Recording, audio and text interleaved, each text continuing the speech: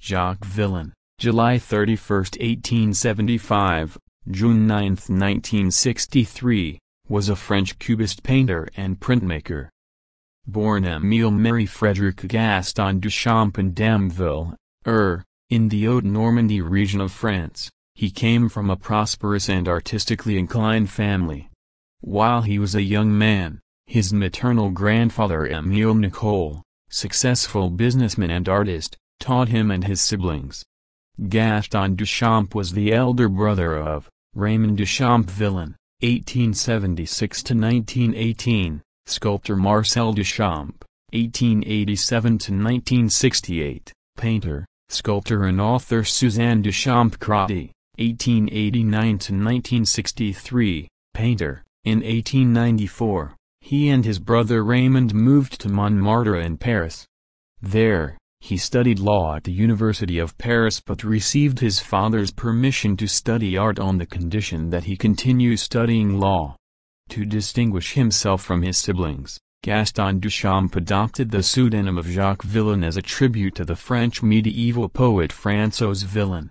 In Montmartre, home to an expanding art community, Villon lost interest in the pursuit of a legal career, and for the next ten years he worked in graphic media contributing cartoons and illustrations to Parisian newspapers as well as drawing color posters. His work appeared in the satirical weekly Le Courrier Français. In 1903 he helped organize the drawing section of the first Salon d'Automne in Paris. In 1904–1905 he studied art at the Académie Julian. During the First World War, Villon worked as a cartographer for the army. At first, he was influenced by Edgar Degas and Henri de Toulouse-Lautrec, but later he participated in the Fauvist, Cubist, and Abstract Impressionist movements. By 1906, Montmartre was a bustling community and Jacques Villon moved to Puteaux in the quiet outskirts of Paris. There, he began to devote more of his time to working in dry point, in intaglio technique that creates dark, velvety lines that stand out against the white of the paper. During this time he worked closely to develop his technique with other important printmakers such as Manuel Robbe. His isolation from the vibrant art community in Montmartre, together with his modest nature, ensured that he and his artwork remained obscure for a number of years. At his home, in 1911, he and his brothers Raymond and Marcel organized a regular discussion group with artists and critics such as Jean Metzinger, Albert Gleizes, Francis Picabia, Robert Delaunay, Fernand Léger and others that was soon dubbed the Puteaux Group, or the Section d'Or.